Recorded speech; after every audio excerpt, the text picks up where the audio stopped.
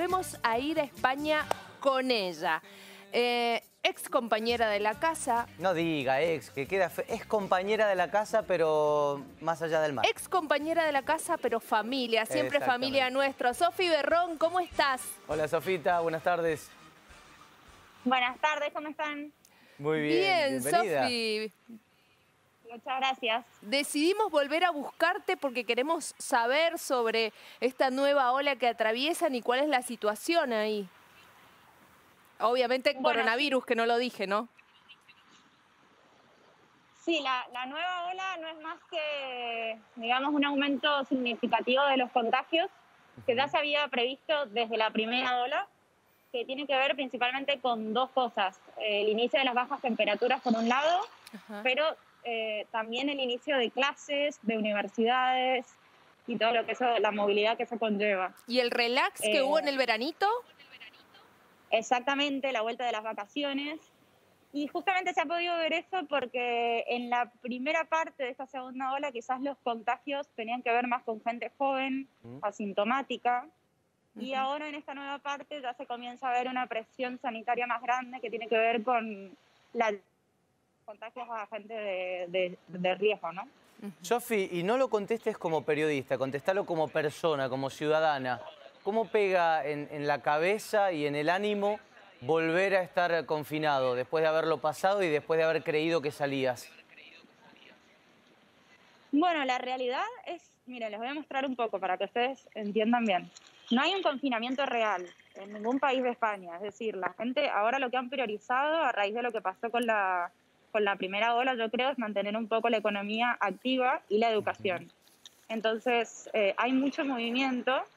Lo que sí hay son, quizás en todos los países de Europa se repite toque de queda a partir normalmente de las 10 de la noche y eh, cierre de bares y restaurantes que solamente permiten, por ejemplo, este es el caso, eh, comida para llevar o delivery pero digamos que no se vive igual que, el primer confinamiento, que era un confinamiento real donde solo se podía salir a comprar y nada más.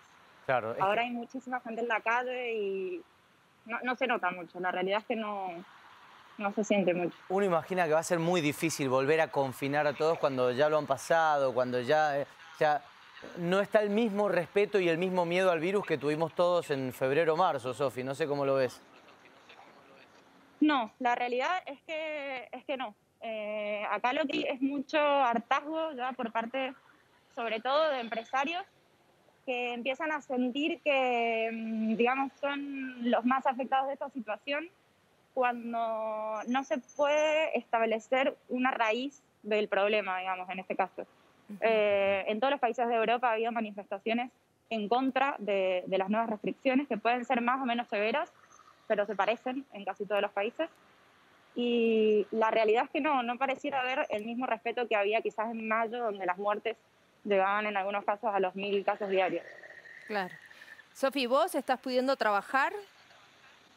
No, no, no los restaurantes están cerrados, los bares también, y aunque tengan eh, aunque tengan el pas y lleve, digamos, mm, no, tienen personal prácticamente, excepto los, que cocinan. Una sola persona ya es más que suficiente. Miren, a ver, hay un solo caso muy cerca acá, pero no se en que no hay directamente ni siquiera alguien en la calle atendiendo. Es decir, no, no, no. la mayoría de las personas de, la hostelería están sin trabajar en este momento. No. ¿Y, cómo es la policía? ¿Cómo es la justicia? ¿Son de generar muchas multas o en realidad es más testimonial pero no te hacen nada si te agarran? ¿Cómo te va si rompes la cuarentena en España? En realidad hay muchas multas porque no se estaban cumpliendo sobre, todo, perdón, sobre todo el toque de queda a partir de las 10 de la noche. Y también hay muchas multas que tienen que ver con fiestas, clandestinas en ámbitos universitarios. Bueno, esto se repite en todos lados, ¿no? Sí, sí, sí. Eh, pero hay algunas situaciones que se respetan, como por ejemplo, no sé, no puede ser un grupo de más de seis personas. Bueno, eh, hay situaciones que yo he visto con mis propios ojos donde la policía no hace nada, es decir, no, no está haciendo un confinamiento real. Se habla de confinamiento en Europa, pero no es lo que, lo que se vivió en marzo, mayo, junio. Claro. Perfecto. Sofi, querida, gracias por este contacto y obviamente vamos a, seguir comunicados para ver cómo se está viviendo la situación ahí. Perfecto, muchas gracias a ustedes. Beso, enorme. Que andes muy bien.